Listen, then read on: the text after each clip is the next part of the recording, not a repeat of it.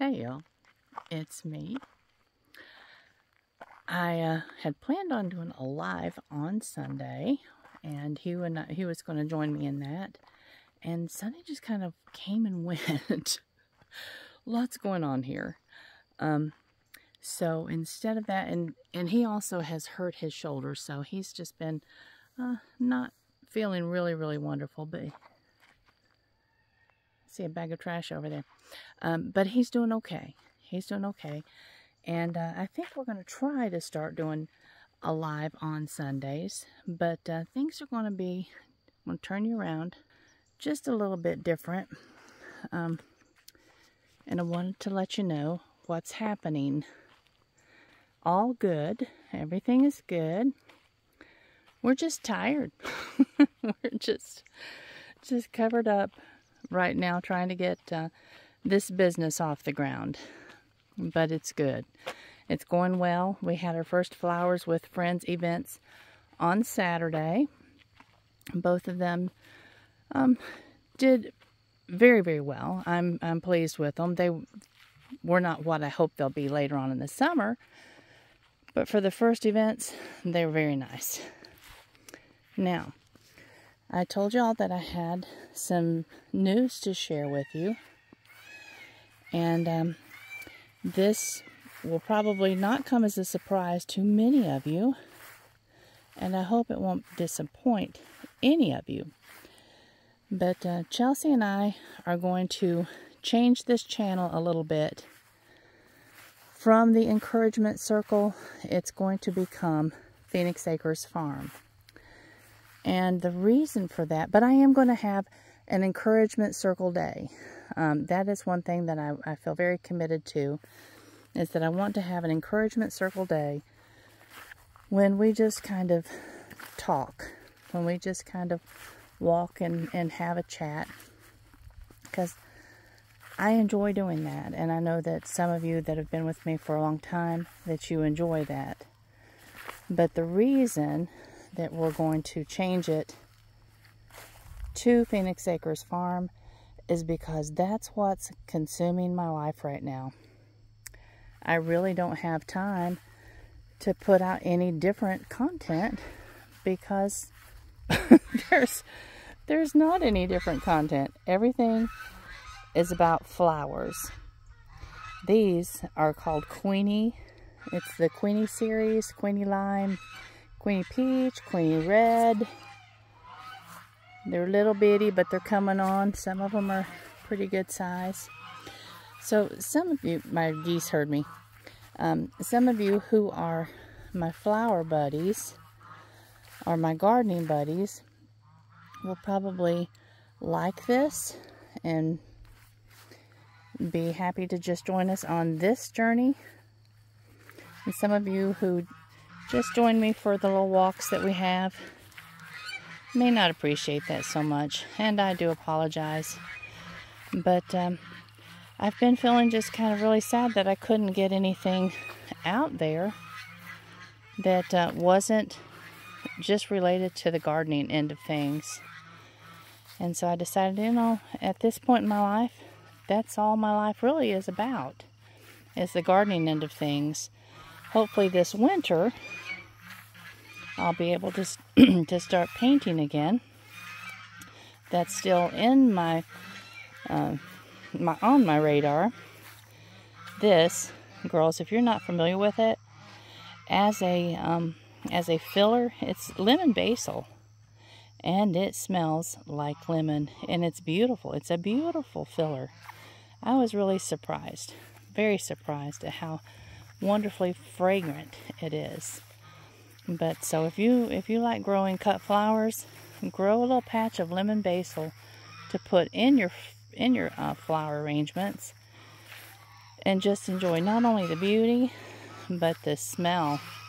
This is basil also, but it's called cinnamon basil, and it's equally beautiful and very aromatic. Actually, it's probably more beautiful and it's very strongly aromatic. And to begin with, I wasn't certain that I liked the smell, but uh, I do now. I do. I think it's a It's a very unique, very powerful smell, but it's a, it's a, a good, clean smell. But uh, anyway, remember we talked about the living pathways? I like this. We have to keep them mowed. And the weeds, I need to bring my hoe and cut down the weeds that are kind of encroaching into the beds. But I do like this. It's late. Y'all, I'm a little late to get to be down here trying to show you flowers. I hope this will show up brightly enough. These are ageratum, and ageratum's actually one of my favorites. Um, they're they seem fairly fragile. They get a little bit stronger and sturdier. The the necks of them get a little um, more rigid, but they're all different colors. And we have a pretty good sized little bed of them. But these little pops of purple, and I have some white, but they just show up really, really pretty in a, a bouquet that's a lot of yellows. I think it just makes the bouquet pop. So these guys are coming along and as they they open up they just put out all these little little feathery, almost kind of like a dandelion type thing, but they're just, they're just very, very pretty. And then marigolds, and a lot of people don't like the smell of a marigold. I absolutely adore the smell of a marigold. These little yellow ones are probably my favorite, and they get bigger. You can see that one down there. He's short, but he's pretty good size. And we have yellow ones just intensely bright yellow ones. And there's lots and lots coming on. We've we cut pretty heavy today because we needed to make a delivery today. And then tomorrow we'll make another delivery. But look how pretty that just just sweet soft yellow is. But um, they'll continue coming on. We're getting ready to set out um, a color called you see cocoa gold. And so it'll be a nice color for later on in the in the fall. So but as you can see you know we've got a pretty good little little row of these. So there'll be plenty coming on for a while. Hopefully the others will be ready before these are exhausted. That's what we keep hoping you know our our zinnias. We've got a nice long bed of zinnias. And we're hoping that this bed right here, I'm moving kind of fast, sorry guys, that goes way down there. Will be up tall and producing by the time the zinnias are exhausted, this row. But our problem has been our sunflowers, and I'll go down you, you can see hopefully in this very late evening that we've exhausted one really long row and the row behind it. And we really don't have any ready to give us any blossoms. I think we must have missed a week because we're trying to get them out every week in a succession. And I think at some point when things were just really, really busy that we forgot a week. So we may not have any sunflowers for a week or so and that will be sad. But these guys are crazy. I call them Martian brains. oh, come on, camera, focus. All right. These are the celosia, and it's a bloom called coxcomb. But um, I don't know that I'm really a fan of them. I think that I actually like the feathers better. And if we can get down there in time before the the sun just totally uh, abandons us, I'll show you the little feathers. Some of you that have been with me for a while, you'll remember the feathers from from last year, some that I, I had in um, an arrangement on my windowsill. I just loved them. I probably gushed a little bit about them. And this right here, there's, in that one, in that row, there's let me see, Gomphrena and, hmm, I don't remember. I'll have to look at them in the daytime. But we're trying to stay ahead with the sunflowers. So you can see we've got one little blip down there in the middle that's trying to bloom, but they're kind of weird. And then over there on that end, I'm going to stick just totally with um, the color called, hmm, it's the Pro Cut Orange. It's actually, I don't know why they call it orange, because it is actually very yellow. Very, very yellow. But you can see these. These are some that we direct sowed. And we've got this little, this little bird netting on it. We've got it staked down on the edge so that it doesn't get tangled up in any of our little wild animal friends. I don't want my little wild animal friends eating them, but we're trying to also protect them. And we've in this row we've got sunflowers at all heights. But you can see these are just hmm, not about hip high, but they are still tightly closed. They are nowhere ready to open and start giving us blooms. And they just need to hurry up because I need the sunflowers. Hurry up, you guys. All right, and then that row right there, we just planted those a couple of days ago and they're netted over, so they're good. And then down at, we, we've got this garden, it's, it's just, it's not, um, it's not being planted in any sequence right now.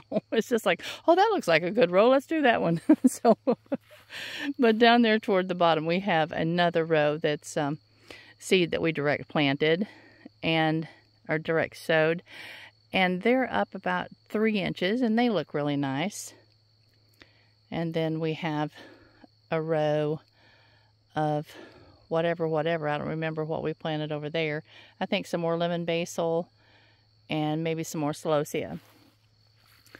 But let me take you back here and show you these pretty little gomphrena. But they're stunted. They're the ones that we got out too early. So they'll be pretty in the little jars. If you remember, I don't know if you've seen the little jars that we're doing. They're just little mason jars. And this row, I really need to get in and pull some weeds. The um, the sunflowers themselves were really sporadic. If you remember, we were having problems with groundhogs eating things. Little stinky boogers. And so I almost abandoned that whole patch. But there's still little areas of it that's coming on nicely enough that I need to just move the weeds out of there and give them some space. All right, here's some of the little celosia feathers. And I think they are so, so sweet. I love these little dudes. But, uh, and then that's probably my favorite of the celosia. And here's some coming on. And this one is going to be a purple when it gets a little bigger. So when it comes on, it's also a feather, but uh, it'll be a, a darker purple feather. But I love these little pale pink ones. They're so pretty. But there's nothing in that bed. And there's really not anything in this bed, just a sporadic little sunflower here and there. And a little row of buckwheat down the other side that hasn't been mowed yet. But then that bed over there, there's nothing in it. So I need to just clean the weeds out of that. And then I can stick something in it. This, I don't know if you can see it as dark as it is, but it's called Frosted Explosion. Uh, you'll have to see this in the daytime.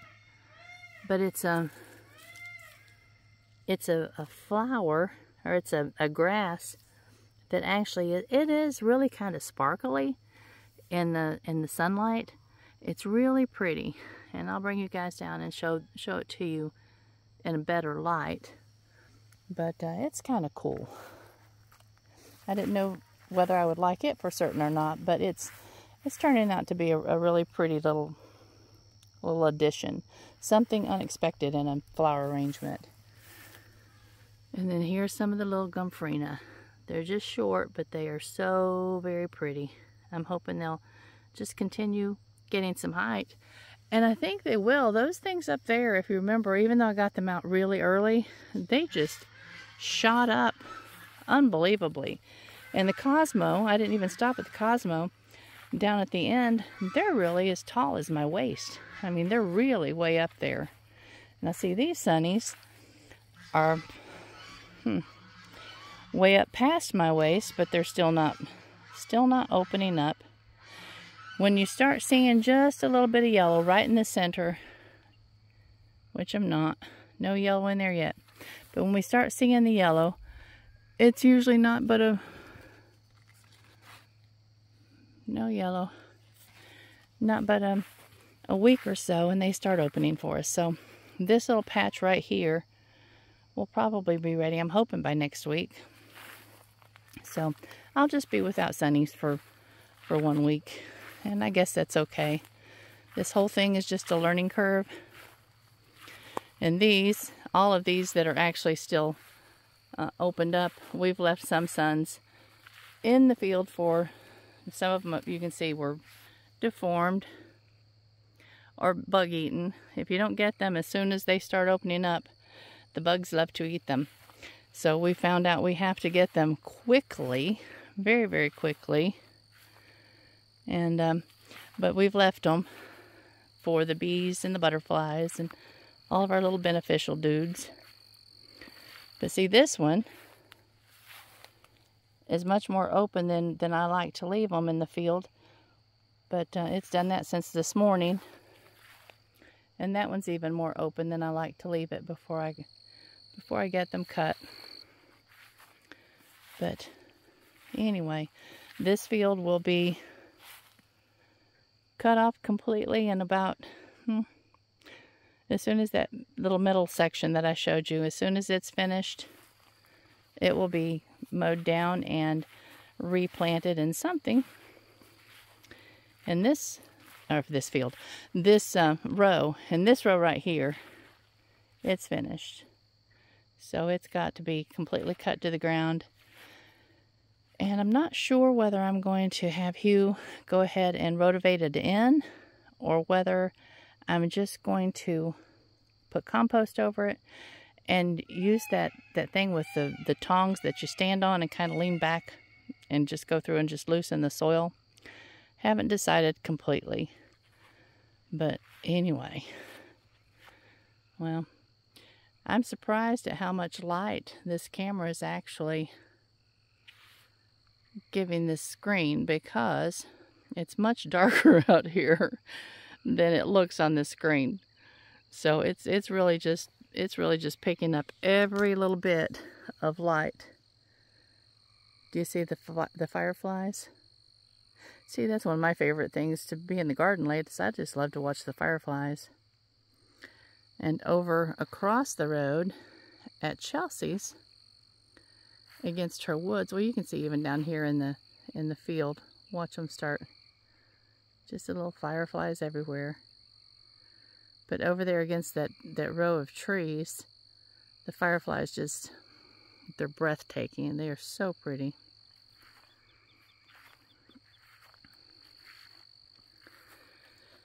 But anyway, to reiterate, for right now, while we watch the fireflies sparkle.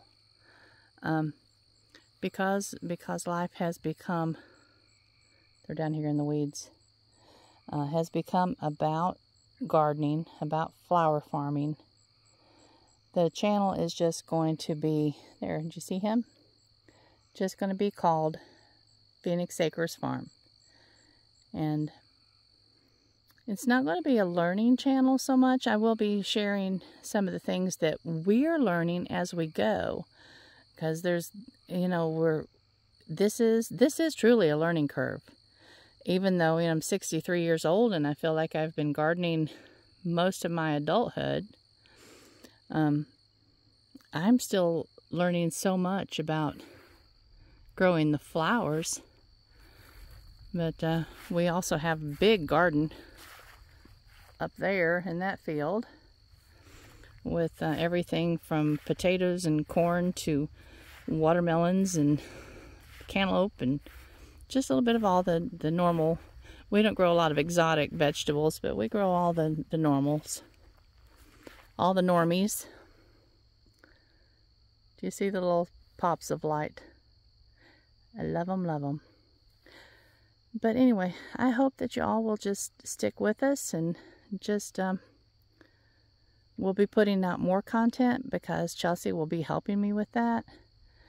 And because we spend so much time doing what we're doing, it'd be easier just to set up a little tripod and um, let y'all just, um, or ask y'all, that those of you that are interested, to join us on this journey of um, this new little business.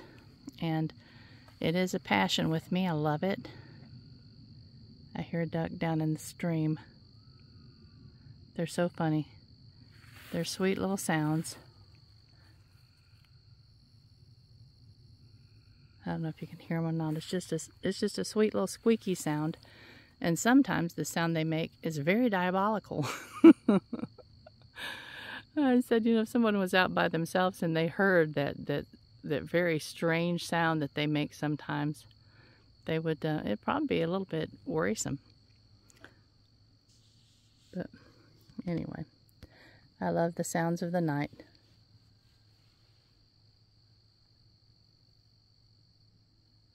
And the quiet of the night. But anyway, I hope you all have a wonderful, beautiful rest of your week. I'm glad it's um, early on in the week because toward the end of the week, Thursday is our market day, and then Saturday is two Flowers with Friends events, and eventually within the next few weeks, perhaps, we'll be having a Flowers with Friends event here on Fridays. So the weekend is just kind of grueling. Yesterday was lovely because I just uh, napped off and on. I did my my chores that I needed to do just in between little naps, but it was it was good. Okay, well, y'all those of you that have been with me on the encouragement circle for the past year and a half, you know I love you much, and I hope you'll continue um, tagging along with me or joining me or just kind of fussing at me or encouraging me on this this crazy journey that um, that we've decided to undertake who who actually decides to start flower farming at 63 years of age? That's just kind of a a question that somebody needs to answer for me because it is extraordinarily physical, a lot of work. But you have to either be just a little touched, as they call it around here, a little touched, or it has to be a passion. And with me, Maybe it's a bit of both. Look at the yellow roses. They're still just blooming their heart out. That one's all pretty much finished. And our porch is glowing where I have my plants for right now. But this is, I don't know, I told Hugh, I said, well, maybe this will keep me young. Not that I'm young by any stretch of the imagination, but maybe just all the, the physical, because when you're doing something like this, you can't, I mean, it's not even like vegetable gardening. Because with vegetables, if you're not ready to cut a tomato or a green pepper, you can usually get by with leaving it on the vine for a few more days. With the flower farming, nope. When the flower's ready to be cut, you either get it when it's ready or it's wasted. As far as the cut flower, it's beautiful in the field. And all of the, the little insects and the bees and the butterflies love it. But if you want it for uh, an income, you better get it when it's ready or you've lost your opportunity. All right, y'all. I think it's dark and I'm going to go in and water my plants on the porch. And I'm going to call it enough for this evening. And I love you much. Bye-bye.